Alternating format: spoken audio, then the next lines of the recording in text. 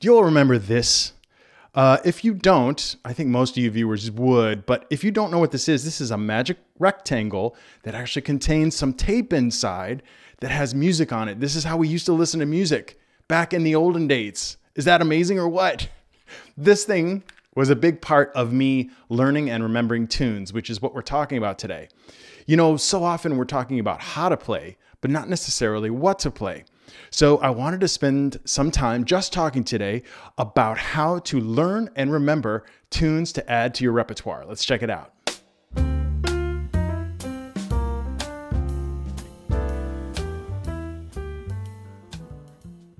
Welcome to Learn Jazz Bass with Matt Rybicki. Uh, you know what to do, like, subscribe, look for PDF below.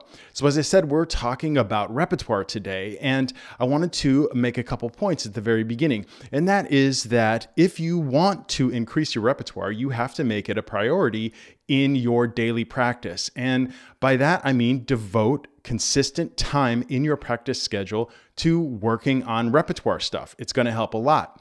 And if you're interested in doing that, I would recommend a system that I sort of came up with. It's very simple, but I want to talk about it in a little more detail now. The first thing we're going to talk about is assembling our materials or, or our assets of the tunes we're going to find.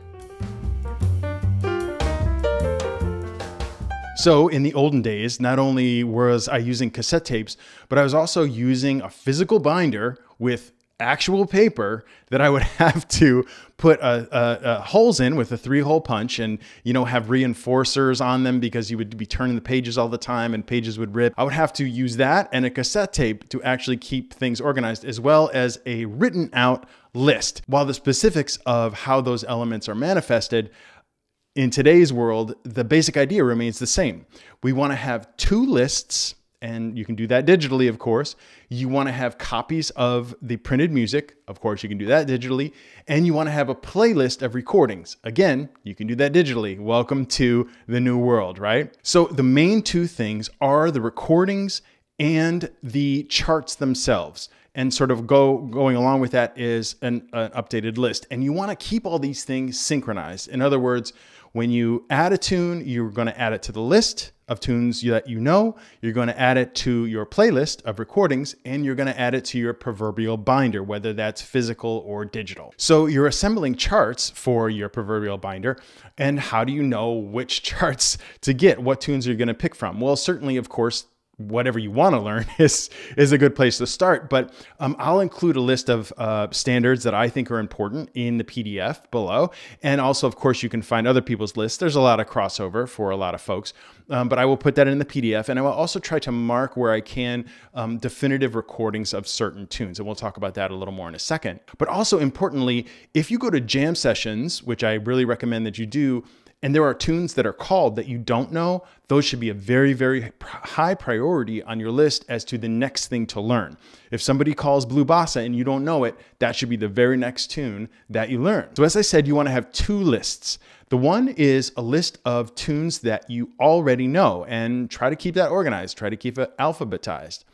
But you should also have a list of the songs that you need to learn, that you want to learn. And what you're going to be doing is obviously moving one at a time, one song from what you need to learn into the tunes that you do know. You want to have a variety of styles too, if possible bossas and waltzes and Thelonious Monk tunes and bebop tunes and all kinds of blueses and so on and so forth. Don't just learn medium swing, you know, standards. So for the recordings, you want to find as definitive a version as possible. And sometimes that's not really quite as possible as we would like. For example, on the old sort of American songbook standards, there are thousands of versions of Body and Soul.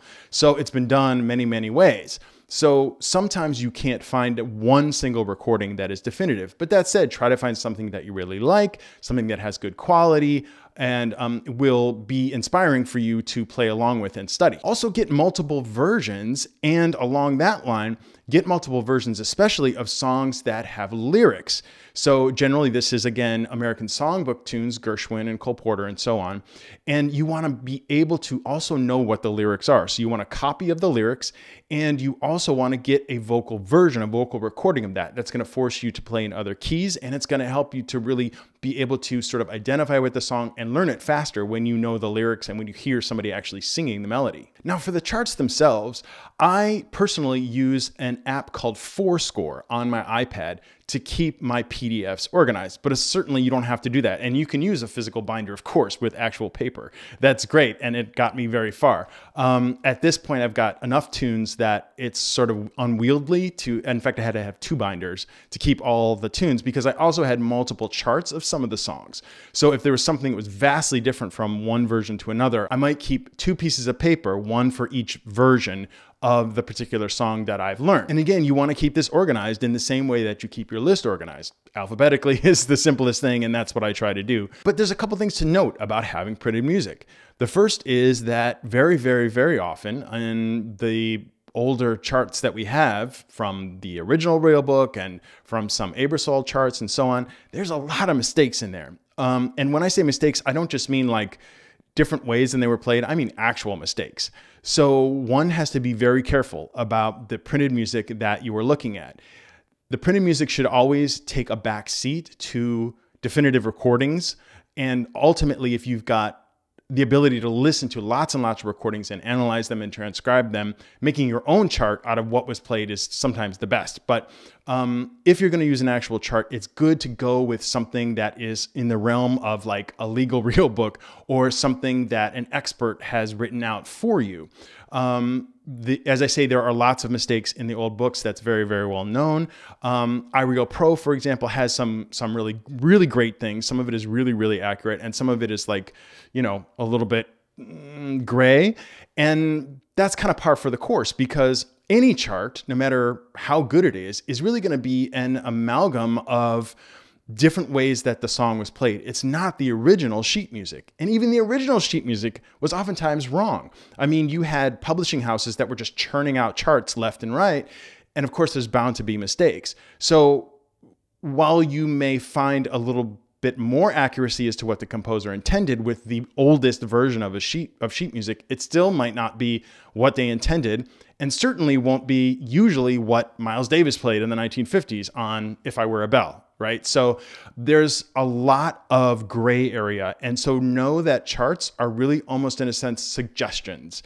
Um, and that you should always be willing to make changes to them. You know, having a pencil handy or an Apple Pencil is handy uh, to make changes as you listen and transcribe and as you learn from, as I say, experts that are correcting common mistakes. Um, Adam and Peter Martin at uh, Open Studio are commonly doing this. They're doing short videos where they're saying, hey, these are actually the correct changes to XYZ tune. So listen to experts like that and try to incorporate that into your own playing. Be listening for those little specific differences. If something is a minor six on the original recording, but on the chart it says minor seven, that's a big difference. And we should try to pay attention to things like that. So, as far as actually learning the tunes, as always, there's no fast answer, and listening is your most important tool. So, you've got to be familiar with what the song actually sounds like, right? And repeated listening to multiple versions is very, very helpful. You want to try to learn by ear first if you can. Figure out the form, uh, figure out the melody, figure out the lyrics, uh, figure out the chords if you can, figure out playing the melody on your instrument, and so on. Do the best you can. It's not necessarily a whole transcription exercise, but really getting inside it with your ear first is going to give you a lot of a sort of good foot forward as you go on to really getting it inside your system. So once you've spend some time learning it by ear, then check the printed music and note any differences.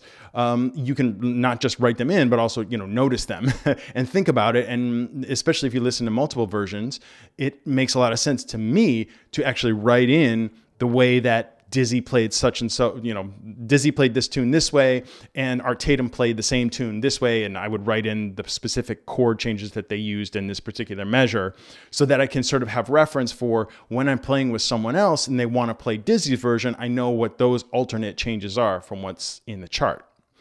But very, very importantly, when you are thinking about the harmonic progression or looking at the chart, looking at the harmonic progression, analyze it in really big chunks. You want to distill the song into its most basic elements if you can.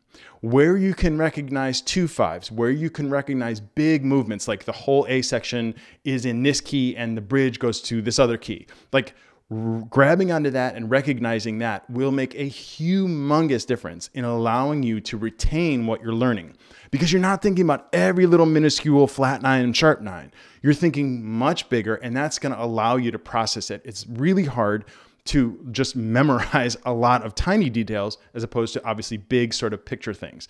So really be looking at harmonic analysis and spend some time thinking about, oh, this first four measures as actually just you know uh, um, uh, setting up what happens in the next four which is just sort of a repetition of that but up a fourth or something like that. So you're, you're really sort of trying to grab the, the the broad picture of the tune and that's what you're sort of latching onto. You're laying that as the foundation of remembering and then as you go you're adding those little elements on top. Oh right this is a flat five on this chord and so on and so forth but don't try to grab all that at first. Grab the big part. So once you do that, you want to drill this tune with the recording and using your ears as soon as possible. So I you've got your recording that you've been listening to, play along with the chart, play along with it, look at what's happening and really try to just drill it and get it in your head and try to look away from the paper as soon as you can. As soon as possible, just be using your ears and just go over it again and again and again as many times as necessary. It may take a couple days to do so, and that's okay. You're really only working on one song at a time. It shouldn't be too overwhelming. So once you get one version down, which may take a couple days, try to do it in a different key. As I say, American songbooks, done a bunch of different ways. Vocalists sing them. They usually sing in different keys. So putting the tune in a different key, playing the melody in a different key, it really, really help to sem- uh, really, really help to cement that into your ears and into your mind. And then remembering. So we've learned a tune and now we need to remember it, right? That's usually sort of the trickiest part. And here's where I think the secret sauce of this sort of system is, and that is to consciously devote time in your practice schedule to actually reviewing the tunes that you know. So you've got this assembled list of tunes that you know, you've got this assembled binder of tunes that you know. So devote 30 minutes or 15 minutes, however much time you spend learning a tune, spend the same amount of time reviewing the tunes and go one at a time. Start at the beginning, spend 15 minutes going from tune to tune and try not to to use the charts but if you need to look at them they're there to reinforce it and just sort of buzz through them. Play a couple choruses play one chorus if you know really well and go on to the next one. When you're done with the 15 minutes on the next day pick up where you left off reviewing those tunes and so that really helps to reinforce what you learned, obviously, the day before. But as you get further and further along learning more tunes, you need to reinforce what you learned, you know, a year ago. So just keep cycling through as you go through the list. Just when you get to the end of the binder, start again at the beginning on the next practice session. So, I mean, it may take you a month to get through the whole binder, but the point is you keep just reinforcing that, keep touching on those tunes you already learned. And it's really no more than that. It's pretty pretty simple basically. But the idea that I think a lot of folks maybe don't spend time with is you know, reviewing these things in an organized, sort of logical way. And so it doesn't require a whole lot of effort other than sort of just thinking ahead and spending a little time to put things in a way that is really accessible to you. Because when you sit down to practice, when you're stand to practice for us, when you are practicing, you want to be able to access this stuff really quickly. So on my iPad, I've got that PDF of all the tunes I know. I've got an accompanying playlist that I'm able to hit play on, and boom, I just go for however much time to remember the tunes. I say, and I say, oh yeah, I forgot about this tune. I forgot how this goes. And you may discover something you completely forgot and you got to spend more time on it. That's fine. But doing these things together, being able to be organized and devoting your time to learning this stuff will really help to increase your repertoire and to really make sure that it is part of you. Because when you go to the gig, when you go to the jam session, the more you feel confident about what you know, the less pressure you feel when somebody asks you to play something that you don't know. If you've, you know, if they ask you a, a tune you don't know that is a waltz, for example, you may say, ah, I haven't learned that yet, but how about we play this waltz that you learned that you like? And more than likely people will agree with that. So I hope that the simple talk was helpful for you today.